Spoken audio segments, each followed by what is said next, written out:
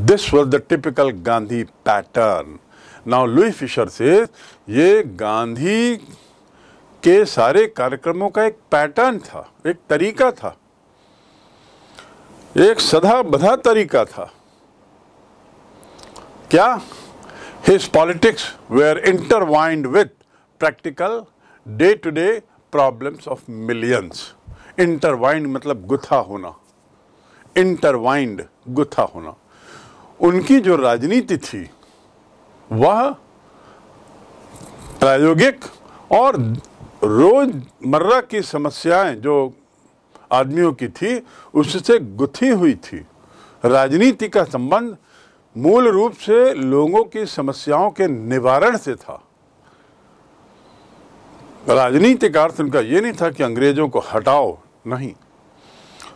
वो तो अपने आप डेवलप होता गया। गांधी का कहना था मैं जो भी करता हूँ, वो तो एक्चुअली समाज के लिए कर रहा हूँ। उनको बोलता हूँ कि अपनी आय बढ़ाओ, अपना स्वास्थ्य ठीक करो, अपनी सफ़ाई रखो सैनिटरी कंडीशन की चिंता करना, हिसाब की चिंता करना, ये सब क्या है? ये सब के पीछे गांधी का उद्देश्य था हमारे देश की जनता को सिखाना, कुछ सीखने की ज़रूरत है। और वो सीखते सीखते उनके मन में स्वाभिमान भी जागेगा, आत्मविश्वास भी जागेगा और आत्मबल भी बढ़ेगा। That is what Gandhi said so his problem his politics उनकी राजनीति was intertwined with practical day to day problems of millions रोज़मर्रा के जीवन में आने वाली समस्याओं से उनकी राजनीति का संबंध था। His was not a loyalty to abstractions कल्पना के प्रति कोई उनका झुकाव नहीं था कि कल्पना की उड़ान करेंगे, कल्पना की दुनिया में रहेंगे, सोचेंगे, ना। His was not a loyalty किसी के प्रति समर्पित होना। कल्पनाओं के दुनिया दुनिया के प्रति वो समर्पित नहीं थे। एब्स्ट्रैक्शन मतलब कल्पनाएँ। It was a loyalty to the living human being ये गांधी का जो जीवंत आदमी है, हाड़ मांस का बना आदमी, जीवंत सजीव, उसके प्रति गांधी का झुकाव था, उसके प्रति गांधी का रुझान था, उसके प्रति गांधी समर्पित थे। ये जीवंत आदमी के प्रति समर्थन समर्पित होने का जो उनका तरीका था वो उनकी राजनीति थी। उनकी राजनीति अंग्रेज़ों को खदेड़ने या अंग्रेज़ों का विरोध करने वाली राजनीति नहीं थी। In everything Gandhi did moreover he try to mould a new free Indian अब लुई फिशर आगे कहते हैं। गांधी ने जो भी किया, इस सब के बावजूद मोर ओवर इस सब के बावजूद he try to mould to mould मतलब ढांचा देना। एक एक मोल्ड करना मतलब उसको ढालना। ढालने में प्रयत्न he try to mould a new free Indian उनका सतत प्रयास रह, ये रहता था कि भारतीय लोग ढलें। किस रूप में ढले? फ्री इंडियन के रूप में। उनके मन में मन में जो मानसिकता जो गुलामी की मानसिकता आ गई थी कि हम गुलाम थे, गुलाम हैं, गुलाम रहेंगे। ऐसी वाली जो सोच थी, उससे मुक्त होने की उनकी शैली थी, उनका तरीका था, उससे मुक्त करने का। ही ट्राइड उन्होंने हमेशा यही प्रयास किया कि भारतीयों को एक स्वतंत्र भारतीय के रूप में ढालने की कोशिश करें। अर्थात उन्हें महसूस कराएँ, उनमें वो बदलाव लाएँ। कि हम लोग स्वतंत्र हैं। गुलामी हम पर थोपी गई है। हमारा जन्म गुलाम रहने के लिए नहीं हुआ है। गुलामी थोपी गई है। ऐसा गांधी का बार बार विचार था। Who could stand on his own feet and thus make India free भारतीयों को ढालने में की कोशिश गांधी लगातार कर रहे थे। किस रूप में ढालने में? कि एक स्वतंत्र महसूस करे क्योंकि तभी तो वो अपने पैरों पर खड़ा होगा। Then only he will stand on his own feet. To stand on one's feet, O N E apostrophe S, one's feet मतलब अपने पैरों पे खड़ा होना। तब तो जाके वो अपने पैरों पे खड़ा होगा और फिर भारत को स्वतंत्र करेगा। And thus make India free और इस प्रकार भारत को स्वतंत्र करेगा। पहले खुद स्वतंत्रता महसूस करो। अपने मन को बदलो। जो गुलामी की दासता को इतना अंदर तक आपने भर लिया है और ये सोचते हो कि हम गुलाम हैं, हमारा जन्म गुलामी के लिए हुआ है, इस सोच को अपने मन से निकालो। और यदि ऐसा करोगे तो आप भी स्वतंत्र होगे और आपके साथ साथ देश भी स्वतंत्र होगा। ये उनकी राजनीति का पैटर्न था। Early in the Champaran action Charles Freer Andrews the British pacifist Champaran के कार्रवाई के दौरान एक व्यक्ति आता है, जिसका नाम था C F Andrews Charles Frazer Andrews बहुत प्रसिद्ध नाम, जो एक अंग्रेज़ था और पैसिफिस्ट था who had been who had become a big name and also the follower of Mahatma pacifist मतलब होता है शांति दूत, शांति प्रिय व्यक्ति। नॉट प्रो एक्टिव एग्रेसिव नहीं पैसिफिस्ट जो शांति की महत्ता पर और शांति पर विश्वास करते हैं।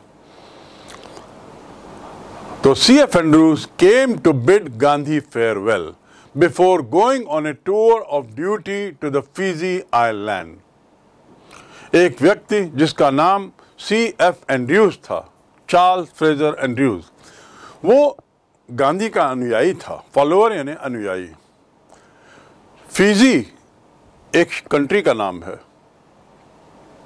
वहाँ अपने कर्तव्य को निभाने के लिए जब उसे जाना होता है, फिजी तो जाने के पहले वो गांधी से मिलने आया। Gandhi to to bid Gandhi farewell to bid farewell मतलब विदाई देना, विदाई लेना। He came to bid Gandhi farewell before going on a tour of duty to Fiji Island to bid farewell. एक तो टू बिड मतलब होता है बोली लगाना। नीलामी के समय जो बोली लगाते हैं ना there is a bidding going on वहाँ नीलामी चल रही है। और टू बिड फेयरवेल मतलब विदाई देना। तो फिजी आयरलैंड में अपने कर्तव्य के निर्वाह के लिए जाने से पूर्व गांधी का एक अनुयायी, जिसका नाम फ्रेजर था, चार्ल्स एंड्रूज फ्रेजर, वो उनसे मिलने आता है। Gandhi lawyer friend thought it would be a good idea for Andrews to stay in Champaran help them Gandhi के जो सहयोगी थे, लॉयर सहयोगी आपको याद होगा, राजेंद्र प्रसाद के साथ बहुत सारे लॉयर्स आ गए थे चंपारण में। और उन्हीं लॉयर्स लोगों ने महसूस किया कि चार्ल्स एंड्रूज यदि यहाँ रुक जाते हैं चंपारण में तो ये एक बड़ा अच्छा विचार होगा। ताकि, क्योंकि इससे उनको मदद मिलेगी। उनको लगा चार्ल्स एंड्रूज हमारी, हमारे काम आ सकता है। और इसलिए वो चाहने लगे कि वो यहाँ रुक जाए, चंपारण में रुक जाए। Andrews was willing if Gandhi agreed Andrews इस बात के लिए तैयार थे। बशर्ते गांधी उसके लिए सहमति दें, राजीनामा दें। किस बात के लिए? कि हाँ एंड्रूज तुम फिजी न जाकर के यहीं रह जाओ।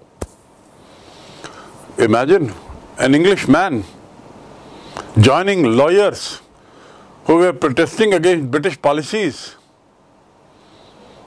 decided to stay back in Champaran. But decided to agree to stay back at Champaran, but Gandhi was vehemently opposed.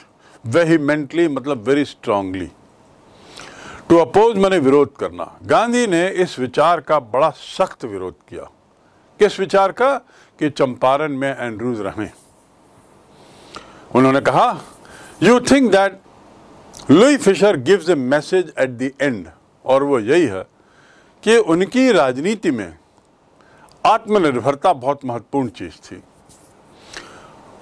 उनकी राजनीति में काश्तकारों की, गरीबों की, कमज़ोर वर्गों की मदद एक बहुत महत्वपूर्ण चीज़ थी। और उनका मानना था कि आत्मनिर्भरता, भारत की स्वतंत्रता और कमज़ोर वर्गों की मदद, ये सब जो है वो एक दूसरे से बंधे हुए हैं। And this way we complete this chapter try to remember it is an extract from a book written by Louis Fischer एक उस लुई फिशर के द्वारा लिखी गई किताब का एक टुकड़ा है ये, बस। और उस उस, हमने, हमारे अध्याय में वो टुकड़ा है जो चंपारण से जुड़ा हुआ है। चंपारण की उस घटना से जो गांधी के जीवन में एक मील का पत्थर साबित होती है। चंपारण वासियों के जीवन में तो मील का पत्थर थी ही, पर गांधी के जीवन में भी, क्योंकि गांधी ने वहाँ बड़े नए नए प्रयोग किए। भारत आने के बाद, साउथ अफ्रीका की धरती छोड़ने के बाद जब वो भारत आते हैं तो एक तरीके से गांधी का ये पहला बड़ा सफल प्रयोग था। जहाँ एक के बाद उनको सफलता मिलती गई, तभी विरोध के बाद। उस पूरे घटनाक्रम को आप याद करिए। कि किस प्रकार एक के बाद एक वहाँ पर चंपारण में उनके सामने समस्याएँ शुरू होती हैं और कैसे एक के बाद एक रास्ता निकलता है अपने आप। क्योंकि वो रास्ता क्यों निकलता है? रास्ता इसलिए निकलता है क्योंकि वो सही मार्ग पे थे। Because he was always fighting for the right cause And that is why everybody, one after the other, whether it was British Commissioner, whether it is Lieutenant Governor, whether it was Viceroy, whether it was SP, everyone surrenders, everyone sorts of, uh, even the judge, British judge, they all allow him to do what he wanted to. Imagine mighty British Empire which had ruled, which had been ruling over India for the more than 150 years, डेढ़ सौ साल से ज़्यादा हो चुका था भारत में शासन करते हुए ऐसे शासन में गांधी के द्वारा चंपारण में जाकर अंग्रेज़ों को एक के बाद एक, अंग्रेज़ों से बातचीत करते हुए बड़े शांतिप्रिय तरीके से अपने काम करवा लेना। It's a big thing not only that if you remember a point came when British wanted help from Gandhi अंग्रेज़ गांधी से मदद मांग रहे थे कि भाई ये भीड़ को थोड़ा नियंत्रित करो। आपके ही कारण ये भीड़ आई है, आपने नहीं बुलाया है, ठीक है। लेकिन ये भीड़ आपकी बात मानेगी तो please come and help us and Gandhi did that Gandhi ने कहा, नहीं, बिल्कुल। So he was not against the British people he was against the British rule he never ill treated British people अंग्रेज़ी अधिकारियों, अंग्रेज़ी जनता के खिलाफ उन्होंने कभी भी अत्याचार नहीं किया, कभी भी उन्होंने हिंसा नहीं की। उनका कहना था, अंग्रेज़ी सत्ता जो है, ब्रिटिश रूल जो है we are against the British rule we are not against the British it is with this thought that we come to know about Gandhi his personality and why we call him so great and mind you Champaran was the first of the incident in India Gandhi का ये पहला प्रयोग था भारत में। उसमें हमने इतनी चीज़ें सीखी गांधी के आ, गांधी के प्रभावशाली व्यक्तित्व की। आगे के तीस वर्ष गांधी जी ने क्या किया? You can imagine the end that was his own mental strength mental power that made the British leave India so now with this chapter comes to an end and we move on to the question answer from the book that we have the very important chapter. Early in the Champaran action, Charles Fraser Andrews, the British pacifist, Champaran के कार्रवाई के दौरान एक व्यक्ति आता है जिसका नाम था C F Andrews Charles Frazer Andrews बहुत प्रसिद्ध नाम जो एक अंग्रेज़ था और पैसिफिस्ट था who had been who had become a big name and also the follower of Mahatma pacifist मतलब होता है शांति दूत, शांति प्रिय व्यक्ति। नॉट प्रो एक्टिव एग्रेसिव नहीं पैसिफिस्ट जो शांति की महत्ता पर और शांति पर विश्वास करते हैं। तो C F Andrews came to bid Gandhi farewell before going on a tour of duty to the Fiji island एक व्यक्ति जिसका नाम सी एफ़ एंड्रूज था चार्ल्स फ्रेजर एंड्रूज वो गांधी का अनुयायी था, फॉलोअर यानी अनुयायी। फीजी एक कंट्री का नाम है। वहाँ अपने कर्तव्य को निभाने के लिए जब उसे जाना होता है, फिजी तो जाने के पहले वो गांधी से मिलने आया। Gandhi to to bid Gandhi farewell to bid farewell मतलब विदाई देना, विदाई लेना। He came to bid Gandhi farewell before going on a tour of duty to Fiji island to bid farewell एक तो टू बिड मतलब होता है बोली लगाना। नीलामी के समय जो बोली लगाते हैं ना there is a bidding going on वहाँ नीलामी चल रही है। और टू बिड फेयरवेल मतलब विदाई देना। तो फिजी आयरलैंड में अपने कर्तव्य के निर्वाह के लिए जाने से पूर्व गांधी का एक अनुयायी, जिसका नाम फ्रेजर था, चार्ल्स एंड्रूज फ्रेजर, वो उनसे मिलने आता है Gandhi lawyer friend thought, it would be a good idea for Andrews stay in Champaran and help them. Gandhi के जो सहयोगी थे, लॉयर सहयोगी आपको याद होगा, राजेंद्र प्रसाद के साथ बहुत सारे लॉयर्स आ गए थे चंपारण में।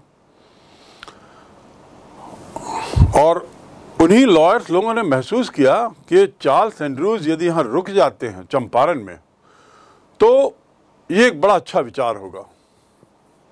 ताकि, क्योंकि इससे उनको मदद मिलेगी। उनको लगा चार्ल्स एंड्रूज हमारी, हमारे काम आ सकता है। और इसलिए वो चाहने लगे कि वो यहाँ रुक जाए, चंपारण में रुक जाए। Andrews was willing if Gandhi agreed Andrews इस बात के लिए तैयार थे। बशर्ते गांधी उसके लिए सहमति दें, राजीनामा दें। किस बात के लिए? कि हाँ एंड्रूज तुम फिजी न जाकर के यहीं रह जाओ। Imagine an English man joining lawyers who were protesting against British policies decided to stay back in Champaran. But decided to agree to stay back at Champaran. But Gandhi was vehemently opposed. Vehemently मतलब very strongly. To oppose मैंने विरोध करना गांधी ने इस विचार का बड़ा सख्त विरोध किया किस विचार का कि चंपारण में एंड्रूज रहें उन्होंने कहा you think that Louis Fischer gives a message at the end और वो यही है कि उनकी राजनीति में आत्मनिर्भरता बहुत महत्वपूर्ण चीज़ थी। उनकी राजनीति में काश्तकारों की, गरीबों की, कमज़ोर वर्गों की मदद एक बहुत महत्वपूर्ण चीज़ थी। और उनका मानना था कि आत्मनिर्भरता, भारत की स्वतंत्रता और कमज़ोर वर्गों की मदद, ये सब जो है वो एक दूसरे से बंधे हुए हैं। And this way we complete this chapter try to remember it is an extract from a book written by Louis Fischer एक उस लुई फिशर के द्वारा लिखी गई किताब का एक टुकड़ा है ये, बस। और उस उस, हमने, हमारे अध्याय में वो टुकड़ा है जो चंपारण से जुड़ा हुआ है। चंपारण की उस घटना से जो गांधी के जीवन में एक मील का पत्थर साबित होती है। चंपारण वासियों के जीवन में तो मील का पत्थर थी ही, पर गांधी के जीवन में भी, क्योंकि गांधी ने वहाँ बड़े नए नए प्रयोग किए। भारत आने के बाद, साउथ अफ्रीका की धरती छोड़ने के बाद जब वो भारत आते हैं तो एक तरीके से गांधी का ये पहला बड़ा सफल प्रयोग था। जहाँ एक के बाद उनको सफलता मिलती गई, तभी विरोध के बाद। उस पूरे घटनाक्रम को आप याद करिए कि किस प्रकार एक के बाद एक वहाँ पर चंपारण में उनके सामने समस्याएँ शुरू होती हैं और कैसे एक के बाद एक रास्ता निकलता है अपने आप। क्योंकि वो रास्ता क्यों निकलता है? रास्ता इसलिए निकलता है क्योंकि वो सही मार्ग पे थे। Because he was always fighting for the right cause. And that is why everybody, one after the other, whether it was British Commissioner, whether it is Lieutenant Governor, whether it was Viceroy, whether it was SP, everyone surrenders, everyone sorts of, uh, even the judge, British judge, they all allow him to do what he wanted to. Imagine mighty British Empire, which had ruled, which had been ruling over India for the more than 150 years, डेढ़ सौ साल से ज़्यादा हो चुका था भारत में शासन करते हुए।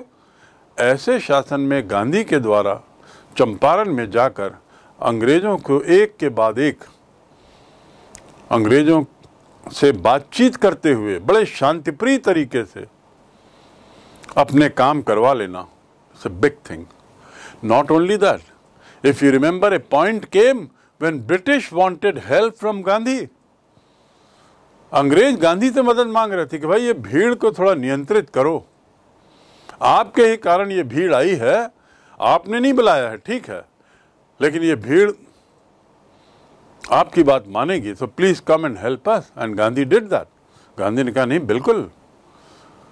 So he was not against the British people he was against the British rule he never ill treated British people अंग्रेज़ी अधिकारियों, अंग्रेज़ी जनता के खिलाफ उन्होंने कभी भी अत्याचार नहीं किया, कभी भी उन्होंने हिंसा नहीं की।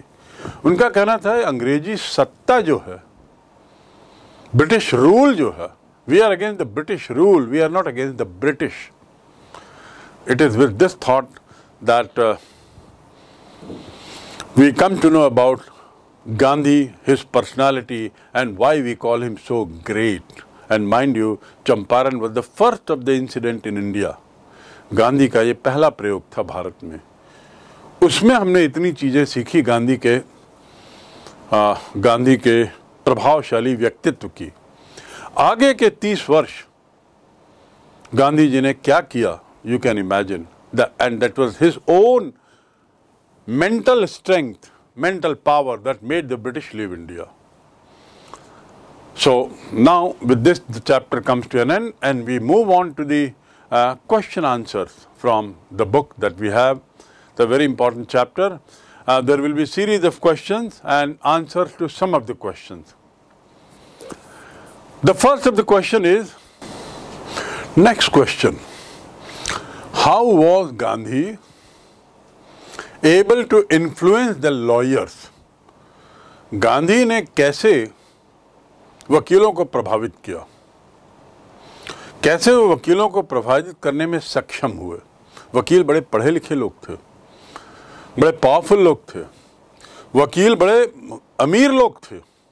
और वकीलों की कमाई का ज़रिया तो एक किसान थे। किसानों से मोटी मोटी फ़ीस लेके वो ऐशो आराम की ज़िंदगी जी रहे थे। उनको कैसे गांधी ने कन्विंस कराया?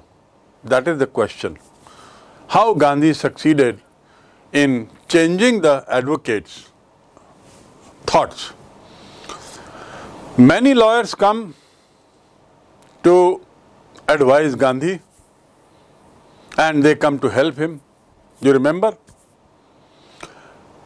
and they आज Gandhi that if you go to jail what do we do here? We'll go home. In fact, Gandhi asked them, what will happen if I go to jail, what will you people do? You know the answer? They said, We'll go back home because we have come here to help you. If you will be in jail, there is no need for us to be here. Gandhi retorted back. Gandhi shot back. He said, No. What will happen to these poor farmers मेरे jail जाने के बाद आप यदि सब चले जाएँगे घर तो गरीब किसानों का क्या होगा? What will happen to them and then Gandhi से आप लोग यहाँ आसपास रहते हैं, सोचिए।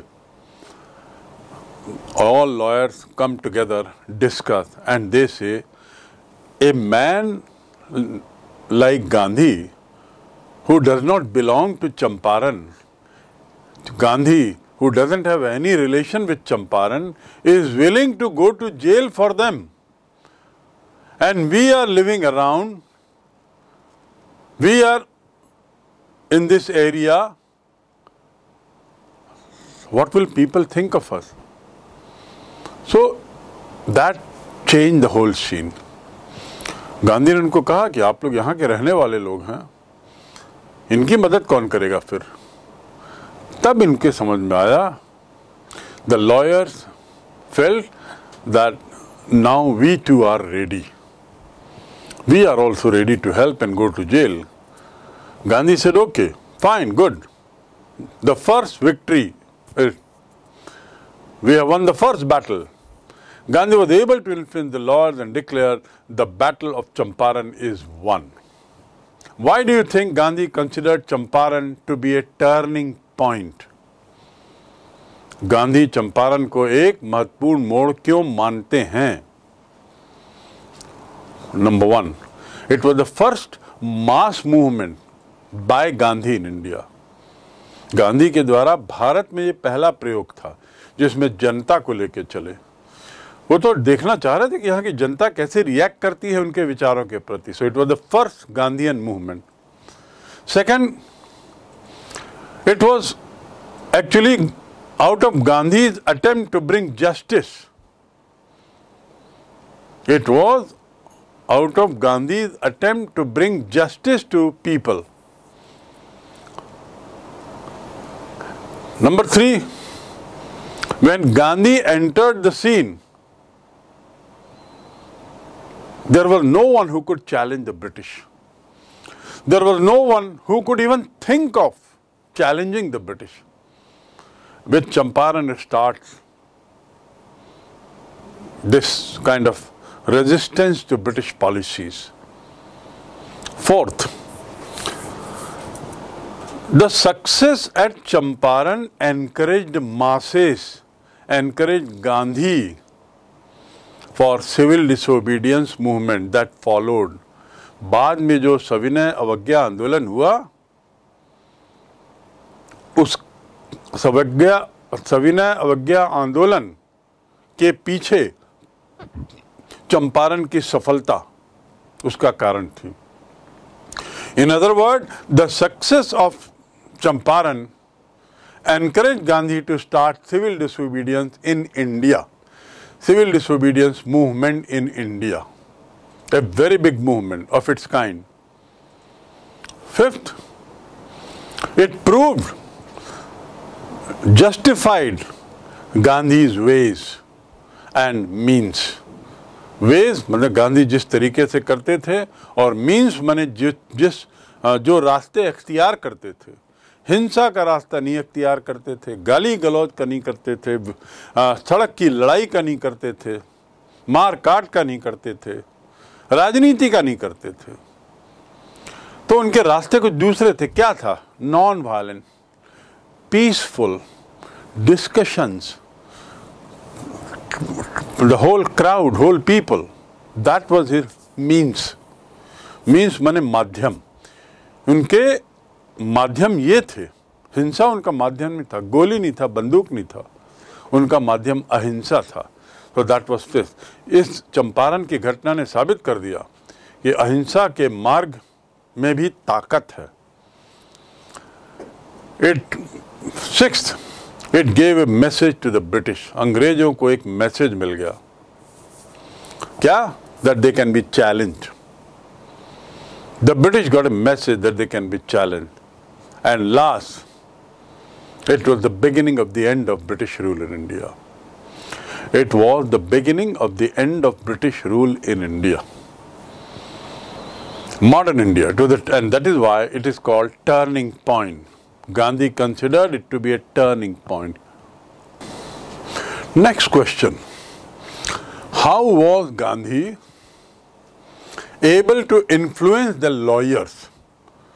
Gandhi ने कैसे वकीलों को प्रभावित किया? कैसे वो वकीलों को प्रभावित करने में सक्षम हुए? वकील बड़े पढ़े लिखे लोग थे। बड़े पावरफुल लोग थे। वकील बड़े अमीर लोग थे।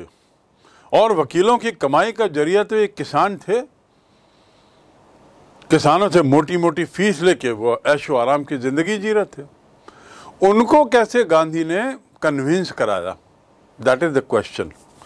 How Gandhi succeeded in changing the advocates' thoughts. Many lawyers come to advise Gandhi and they come to help him. You remember? And they ask Gandhi that if you go to jail, what do we do here? We'll go home. In fact, Gandhi asked them, what will happen if I go to jail? What will you people do? You know the answer? They said, We'll go back home because we have come here to help you. If you will be in jail, there is no need for us to be here. Gandhi retorted back. Gandhi shot back. He said, No. What will happen to these poor farmers? मेरे jail जाने के बाद आप यदि सब चले जाएँगे घर तो गरीब किसानों का क्या होगा? What happen to them and then Gandhi से, आप लोग यहाँ आसपास रहते हैं, सोचिए। All lawyers come together discuss and they say a man like Gandhi who does not belong to Champaran Gandhi, who doesn't have any relation with Champaran, is willing to go to jail for them. And we are living around, we are in this area.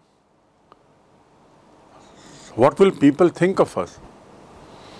So that changed the whole scene.